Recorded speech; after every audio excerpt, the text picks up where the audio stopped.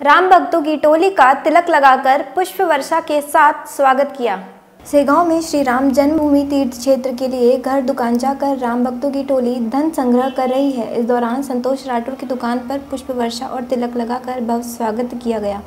इस अवसर पर आकाश राठौर, पंकज गुप्ता, यशवंत पाटीदार जयंत राठौर, जयपाल यादव सहित अन्य मौजूद थे। सेगांव से संजय जायसवाल की रिपोर्ट।